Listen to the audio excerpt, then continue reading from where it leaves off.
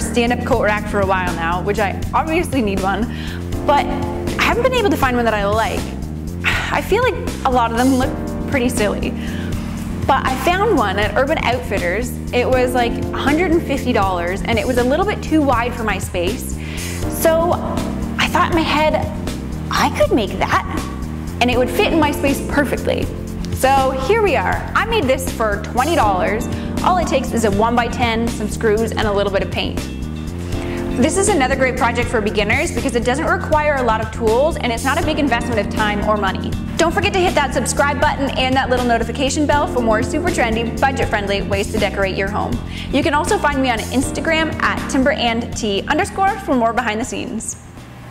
First thing I did was cut all of the pieces I needed. I cut everything I needed out of one 10 foot 1 by 10 The width of your horizontal pieces are going to vary depending on the space you have. Mine were 13 and a half inches, but I had a fairly narrow space, so you could probably add about 6 inches to that. I cut my legs 3 and a half inches wide and 76 inches tall, and cut to 5 degrees on one end so the feet will sit flat on the floor. I used 3 quarter inch dowel and cut them at 3 and a half inches each. Then I marked out where I wanted my dowels, or hooks, to go. I arranged mine in a V shape.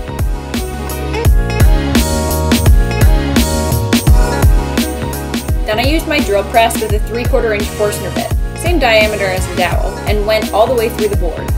You could also use a spade bit and a regular drill, or half inch dowel with half inch drill bit. Once my holes were done, I sanded everything down.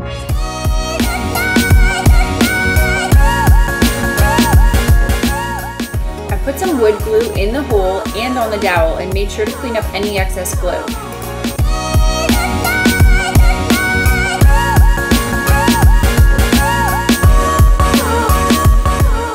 Once the glue was dry, I painted my backer. You could just stain it or paint it, but I wanted a little bit of both.